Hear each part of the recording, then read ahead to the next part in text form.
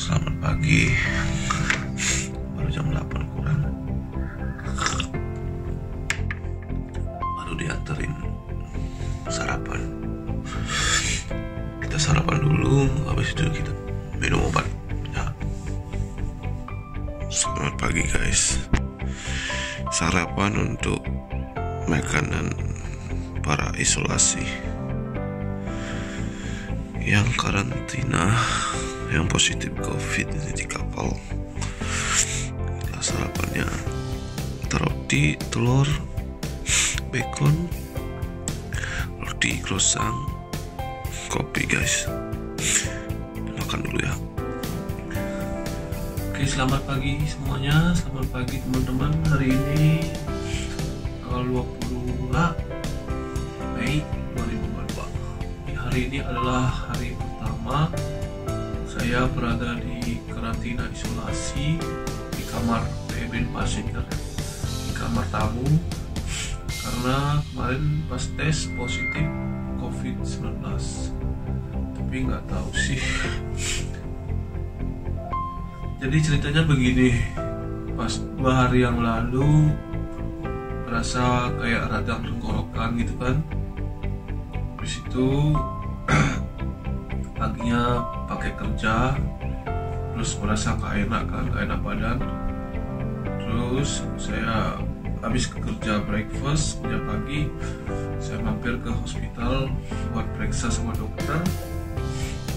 Habis itu di swab test antigen negatif terus dikasih obat. Katanya disuruh bisa bisa katanya dikasih obat terus uh, saya nggak dikasih day off. Jadi saya harus kerja lagi siang. Dan si susternya nurse-nya bilang balik lagi sore jam 5 nah habis itu kerja terus kerja siang habis itu kerja siang saya minum obat. Habis makan siang minum obat istirahat di kamar tidur. Jam 5 saya bangun jam 5 kurang saya mampir lagi ke hospital buat periksa ternyata makin naik ininya uh, demamnya suhu tubuh naik tenggorokan juga gatel tuh radang tenggorokan pilek. Akhirnya dikasih day off. Kasih day dikasih off duty. Jadi saya nggak kerja malamnya. Nah setelah itu uh, besok paginya saya disuruh datang jam 9 ke hospital lagi buat periksa saya istirahat malamnya habis itu esokan paginya sekitar jam 9 saya datang ke hospital. Terus ditanyain sama dokternya gimana keadaannya? Saya bilang keadaannya membaik cuman ada gatal-gatal sedikit di tenggorokan sama batuk pilek.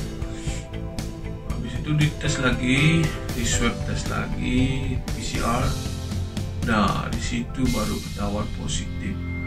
Saya nggak tahu ya apa yang saya rasain cuman kayak radang tenggorokan biasa flu batuk cuman mata air mata keluar terus dikit-dikit agak kayak kayak keluar sampai apa nggak tahu kenapa. Jadi pas dibilang positif saya disuruh masuk ke kamar ada di ruang hospital. Itu saya disuruh nungguin di sana dari jam 10 pagi setengah 11 dokternya bilang susternya bilang kamu tunggu di sini kamu bakalan nanti dipindahin ke kamar isolasi. Sementara kamu bakalan makan siang dianterin ke sini di ruangnya itu ya yang ada di hospital. Nah saya tungguin dari jam setengah sebelas. Makan siangnya lama sekali jam setengah dua baru datang. Itu saya telepon dokternya susternya saya telepon.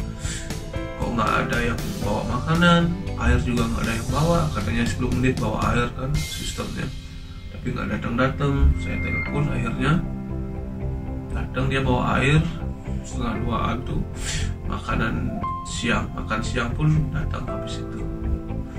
Nah selesai makan datang lagi si susternya. Saya tanyain jam berapa saya pindah? Kalau bosen kan HP udah mau baterai sekarang juga nggak bisa ngapa-ngapain di, dalam bosan terus uh, ya tungguin aja ke katanya housekeepingnya lagi siapin kamar. Ya udah saya istirahat. Dari jam setengah jam dua itu jam berapa ya? Sekitar jam setengah tujuh sore. Baru saya dipindahin. Dipindahin. Saya disuruh ke kamar dulu packing barang-barang yang mau dibawa kamar isolasi. Itu saya di apa saya dibarengin sama anak housekeeping yang pakai pakaian pakai PPI itu. Saya juga pakai pakai PPI pakaian astronot itu terus ada yang yang ngikutin dari belakang buat semprot disinfektan itu. Sampai di kamar saya packing semua barang.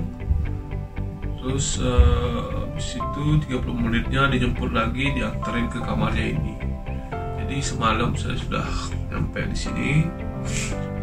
Semalam udah di sini istirahat. Semalam kayak badan rasanya sakit remuk gitu. Terus panas dingin gitu. Saya untuk saya pakai minyak kayu putih. Terus uh, saya pakai fresh dikasih obat juga. Kasih sirup sama spray buat tenggorokan jadi hari ini hari pertamanya tadi udah makan siang. Semoga cepat membaik dan saya bisa kembali lagi bekerja ke restoran. Mohon doanya teman-teman semoga cepat selesai